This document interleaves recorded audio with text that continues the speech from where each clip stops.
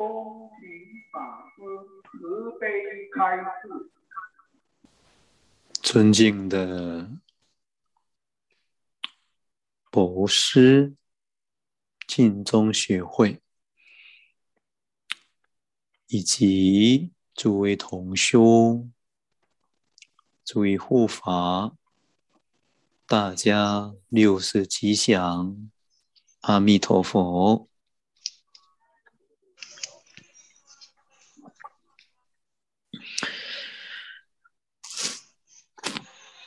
今天在借这个共修的因缘，再来跟大家讲讲话，也互相鼓励，希望我们学佛。以及念佛能够得到利益，特别是这一句弥陀名号功德不可思议。尊敬的诸位同修，上个星期呀，我已经给大家做一个简单的介绍。偶一大师。在《弥陀经要解》里面，为我们分为七大类。首先，我们必须要深信净土，而信为我们啊分为啊七种。第一种的呢，就是信佛言。在这个地方啊，偶一大师告诉我们：今天我们念这一句阿弥陀佛，是释迦牟尼佛劝导我们，特别在弥陀经连续的四次，都劝导我们要念这一句阿弥陀佛名号。不仅仅释迦牟尼佛，也十方一切诸佛如来也为我们证明。换句话说，也劝导我们念这句名号。但是关键在哪里呢？为什么释迦牟尼佛以十方一切诸佛如来？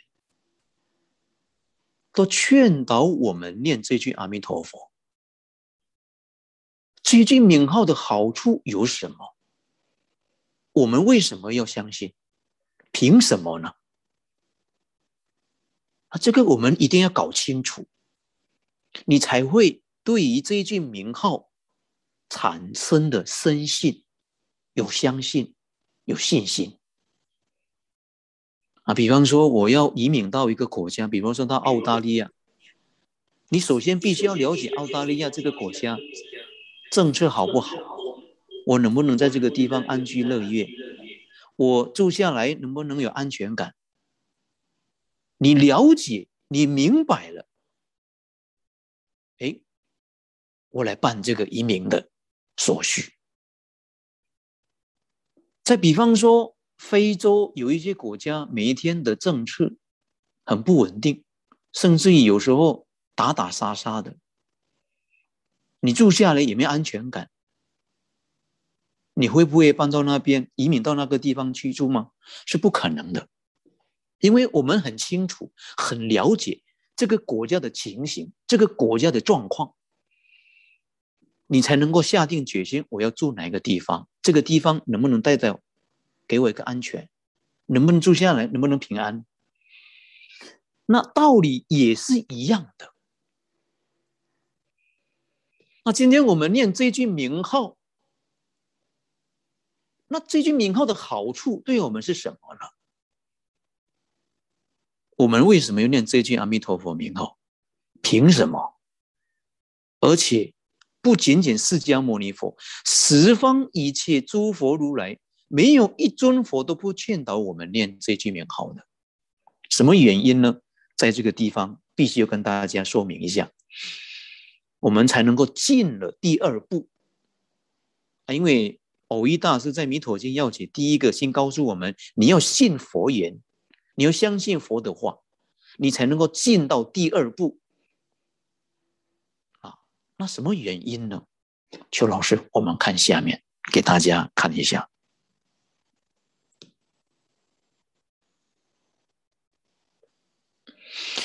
如果大家了解这个事实真相哦，你就明白为什么我们要念这句名号了。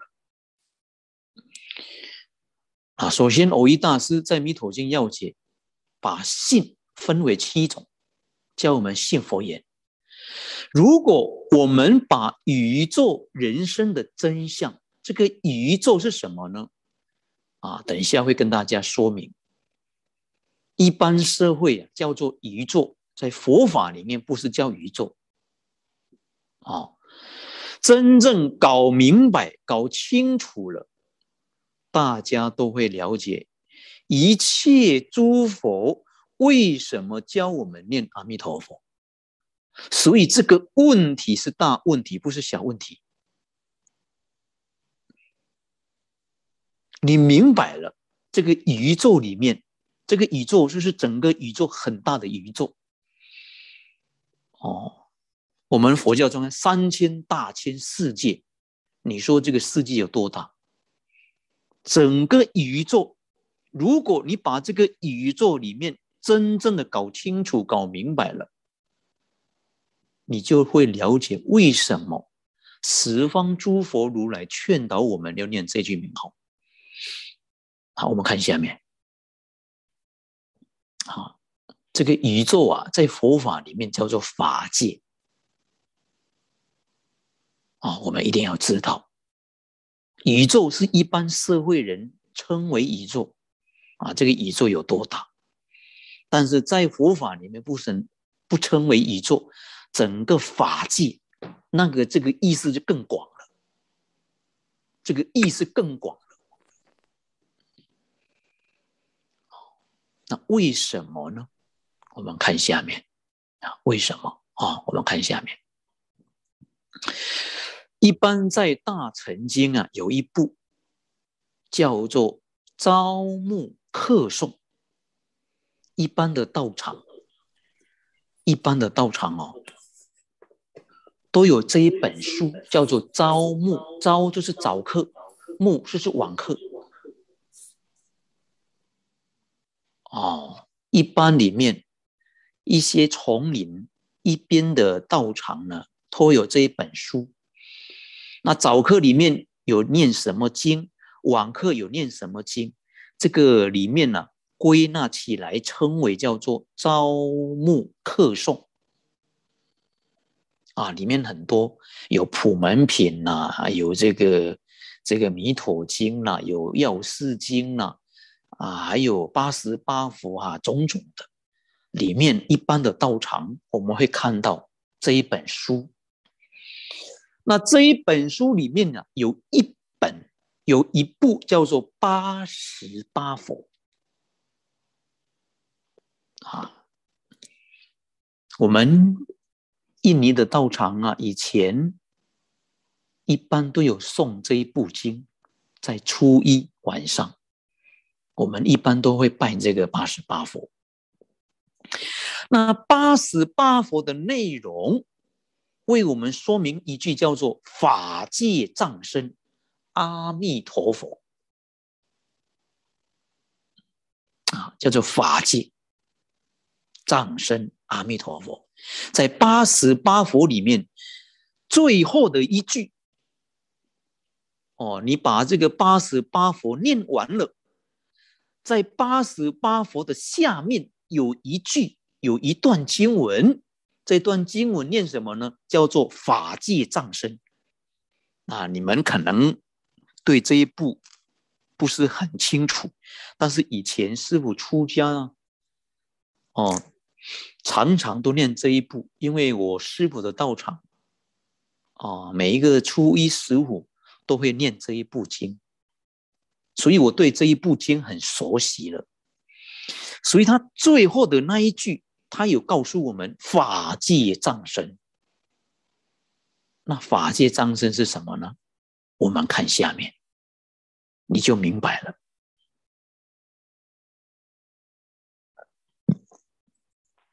什么叫做法界藏身呢？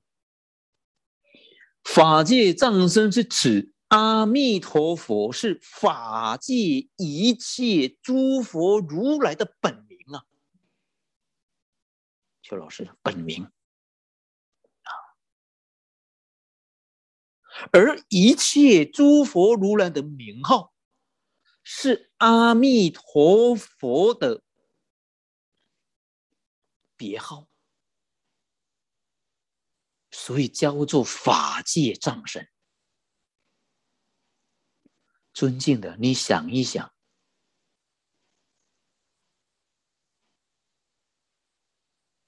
你念这一句名号，你念这一句阿弥陀佛的名号，等于是念念什么呢？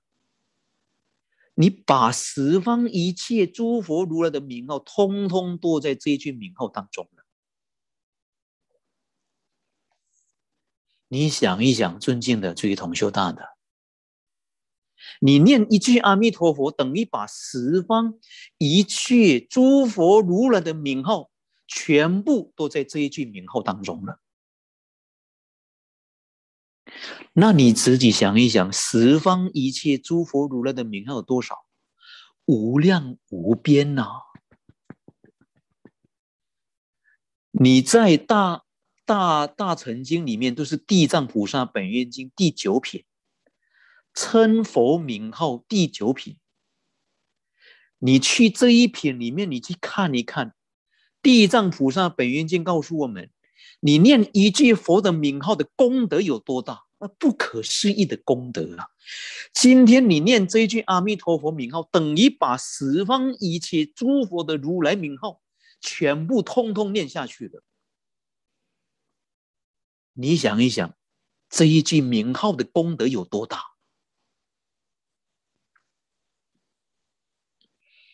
所以这个是大问题，不是小问题呀，尊敬的。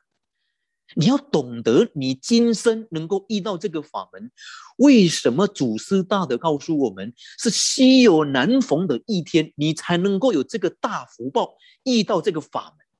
如果你没有大善根、大福德、大因缘，你怎么能够这一生能够遇到这个法门呢？所以你要懂得珍惜，要懂得去修行，怎么样去修持？所以，尊敬的追同修大德，十方一切诸佛如来的名号是阿弥陀佛的别号啊！十方一切诸佛如来的本名是阿弥陀佛的本名啊！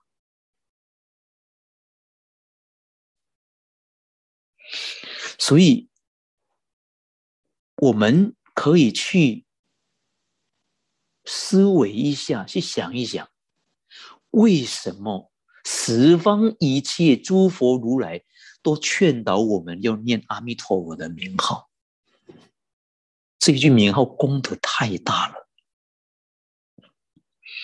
所以你看哦，《弥陀经》里面有一段经文，这一注《弥陀经》，释迦牟尼佛讲经说法，可以说是最特别的。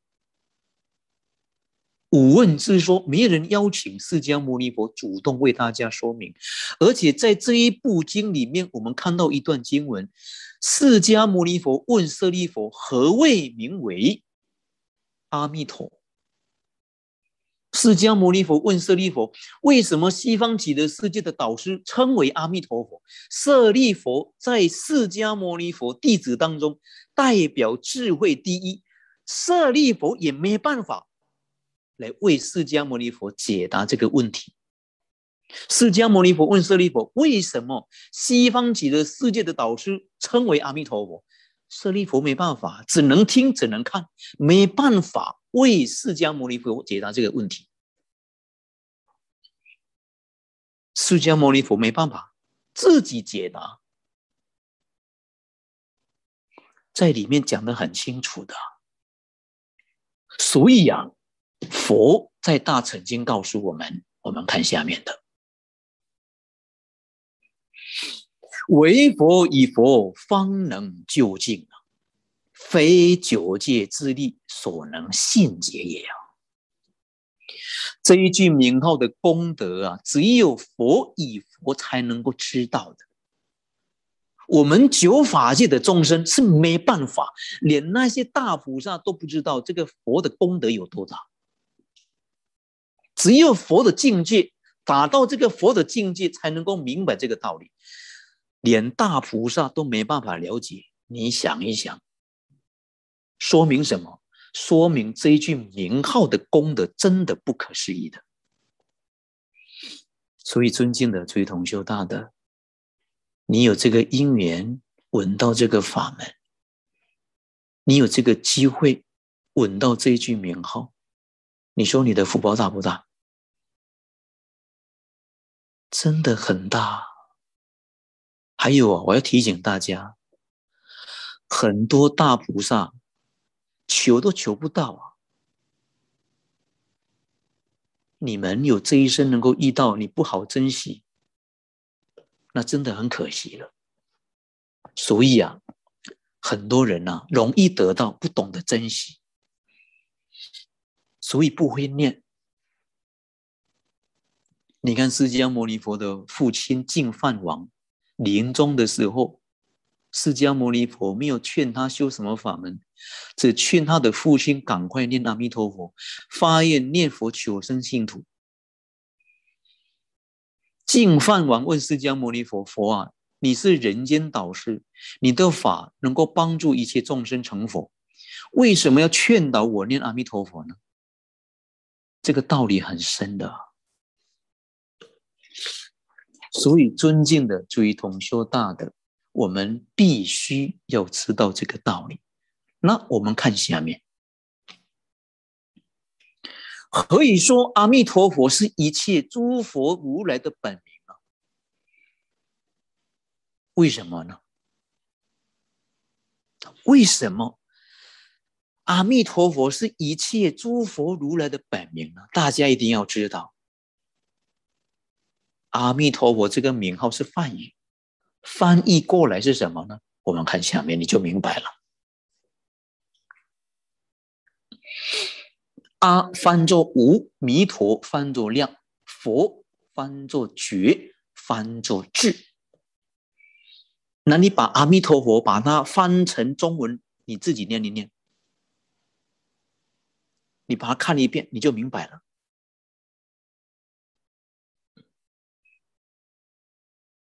你们想一想，哪一尊佛不是无量智呢？哪一尊佛不是无量觉呢？这个就是阿弥陀佛的本名。我们一定要明白佛名号的真正的含义。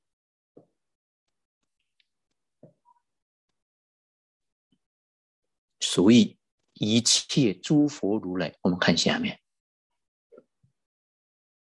我们看下面，邱老师，下面。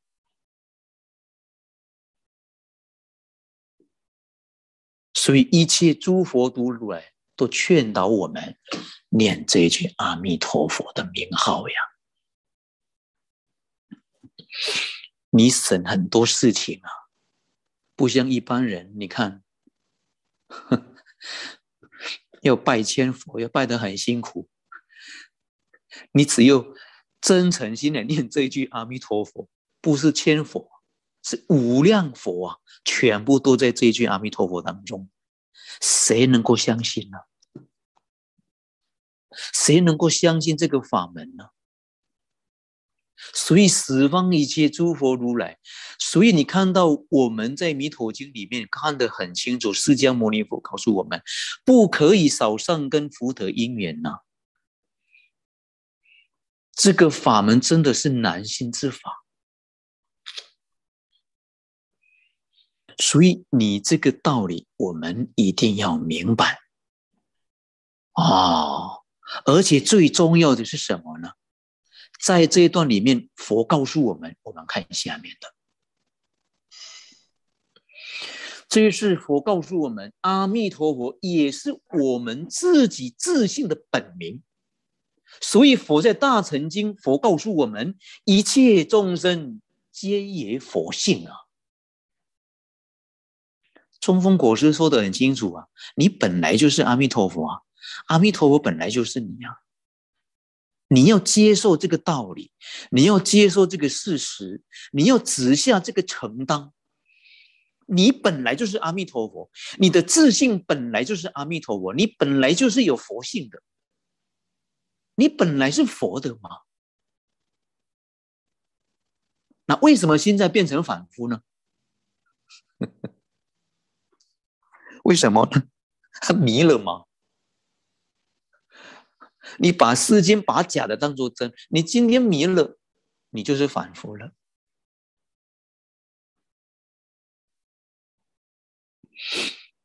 所以，我们在这个末法世界啊，哦，这个末法时期，众生的物质生活富裕啊，但是身心却不安，什么原因呢？因为迷了吗？贪欲、嗔恚、愚痴、傲慢、目中无人，对于圣贤的教诲有怀疑，不相信，就是因为迷了，迷失了本性，今生才变成这个凡夫。你本来就是有佛性啊，虽然你已经迷了，但是你这个佛性还是存在呀。你要明，你要明白这个道理。你只是现在被迷住了，但是你那个否性还存在。比方说，好像一个人喝酒醉了，他虽然醉了，他暂时醉了啊，但是他那个我还是存在。比方说，我今天喝酒醉了，他暂时已经醉了，但是醒过来，他还是恢复他自己的本本来面目啊。虽然我们今天。被这个外面的五欲六尘、名闻利养、自私自利已经迷住了，但是你那个佛性还是存在。这个道理我们一定要明白。所以，尊敬的追同修大的佛在华严经，佛成佛之后，为我们讲了一句话，非常的重要。我们看下面。喜哉喜哉啊！佛告诉我们，在华严经，佛在菩提树下成佛之后，他讲了一句话，他说：“喜哉喜哉啊！一切众生皆有如来智慧德相，但以妄想分别而不能证得。你本来就是佛的嘛，就是因为你的妄想。”你的分别，你的执着，来障碍你本来是佛的。你今生可以往生西方极乐世界，你能够了生死出三界的，那为什么了生不了？为什么往生不了？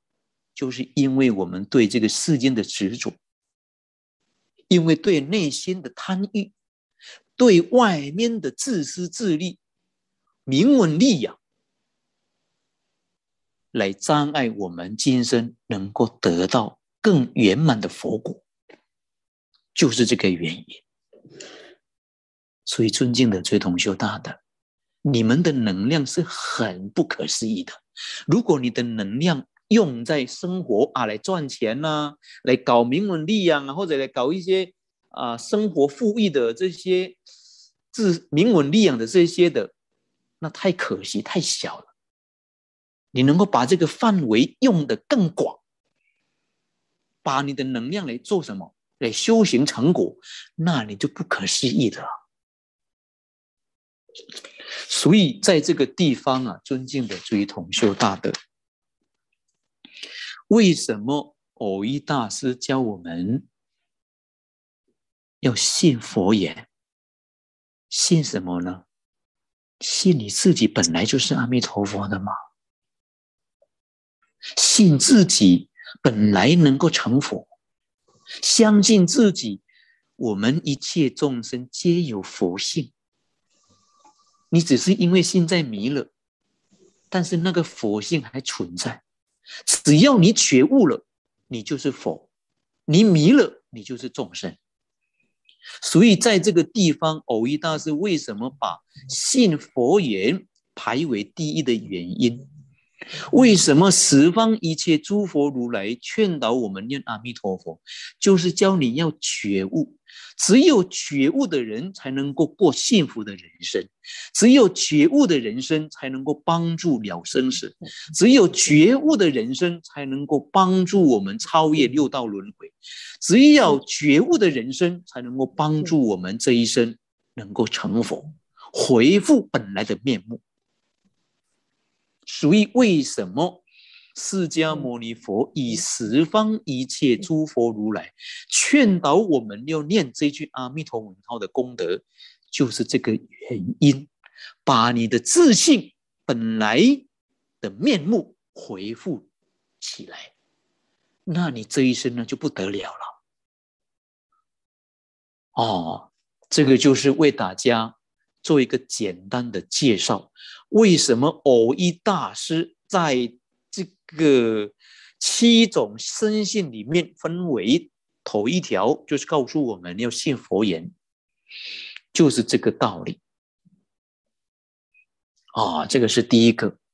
那我们来看第二个，偶一大师是怎么说的呢？偶一大师告诉我们呢。你要信佛愿呢？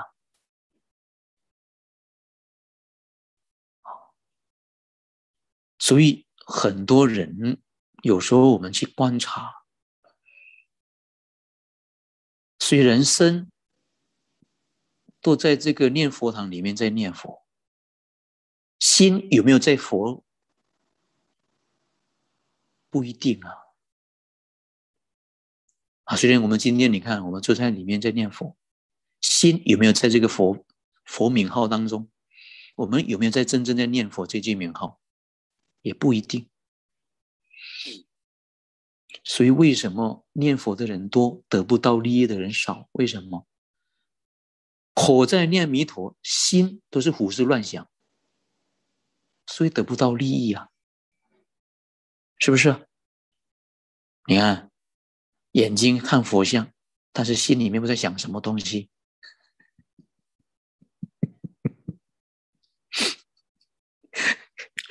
很多人都是有这种的毛病，所以偶一大师啊，以前在世的时候告诉讲了一句话：现在的众生呐，太难度了。哦，所以 怎么劝他？哦，怎么劝？他还是随着自己的习气，随着自己的习性，所以没办法。所以中国人呐，古人有讲一句话叫“自作自受”，哈，就是没办法。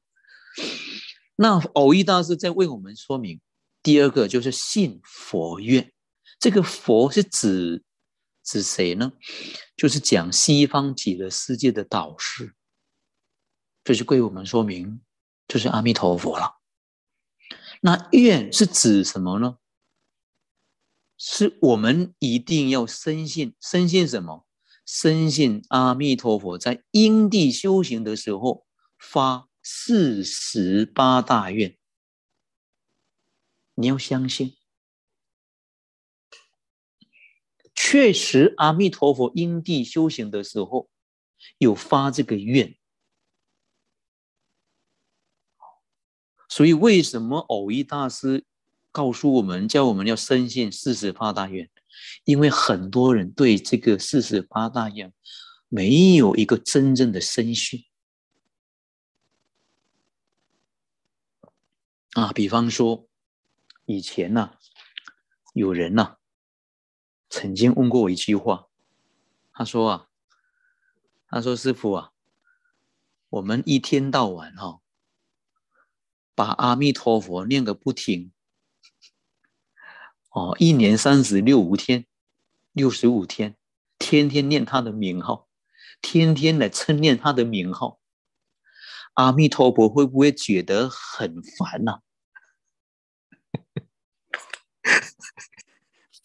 你想一想，我曾经有遇到一些句式啊，哦啊，这个我们天天念阿弥陀佛啊，每天念他，一天到晚都是念他的名号啊啊，不管星期一、星期二、星期三到礼拜天，天天都念阿弥陀佛名号，哎，阿弥陀佛会不会很烦呐？会不会人人都很生气呀？这个这个问题哦，就好像什么呢？好像孙子念姥姥。或者孙子念奶奶哦，一天到晚啊念个不停啊，姥姥啊，奶奶呀，姥姥啊，奶奶。有时候我们做奶奶的会感觉很很烦，知道吗？你你你有这种的想法，会有时候感觉到人家说，哎，会不会很烦，很啰嗦？哦，我你你会不会有这种感觉？人家会这样想啊，有时候人家会这样想。会不会生气？当然不会呀。我们看下面，阿弥陀佛不但不会生气哦，而且啊，阿弥陀佛很喜欢你能够三一年三百六十五天，天天念念阿弥陀佛的名号，阿弥陀佛更欢喜。为什么呢？因为阿弥陀佛要我们天天念他呀。而且大家，你去看一下，阿弥陀佛在因地修行的时候，在世间自在王如来前面发大四十大愿，特别是第十八愿。你看第十八愿怎么念呢？我做佛时，十方众生闻我名号，闻这个字很重要，自心信要所有善根，心心回向，愿生我国，乃至十念。若不生者，不取正觉，唯除忤逆，诽谤正法。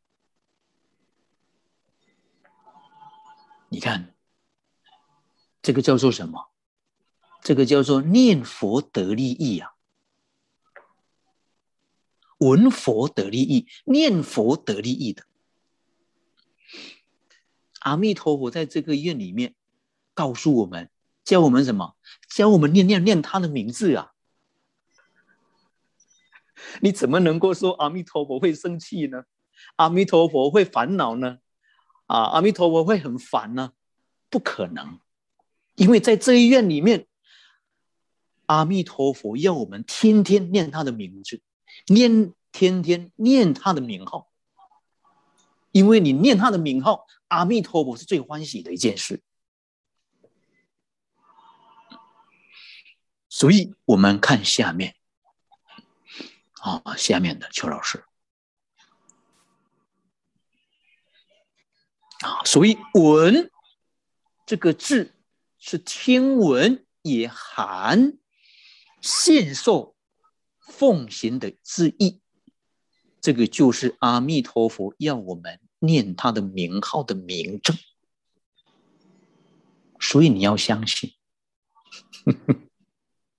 哦，啊，今天。给大家简单说明，哦，让大家明白，啊，如果有一天人家问你，啊，你天天念他阿弥陀佛会不会生气？你就跟他讲，阿弥陀佛不但不会生气，而且天天呢鼓励你，哦，天天你念他的名字，他更欢喜。